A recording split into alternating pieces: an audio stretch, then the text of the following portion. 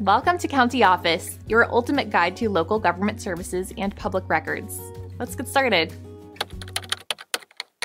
What is a mortgage rate lock? A mortgage rate lock is a commitment by a lender to guarantee a specific interest rate for a borrower.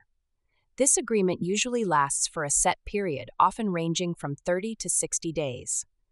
The purpose of a rate lock is to protect the borrower from interest rate fluctuations during the home buying process.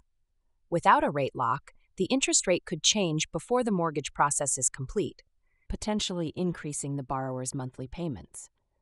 When a borrower locks in a rate, they are assured that the interest rate will not increase even if market rates rise.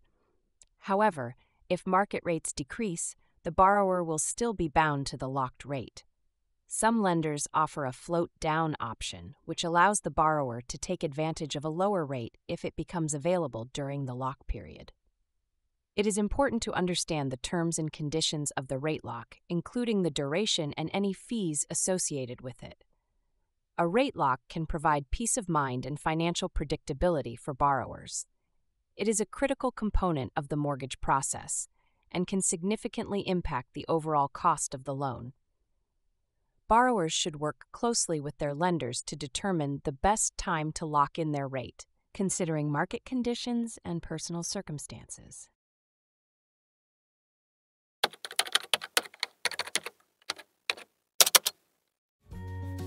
To learn more, check out these links, which you can click in the description below.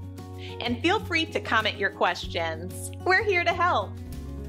Thanks for tuning in to our video. Please like and subscribe and leave a comment below.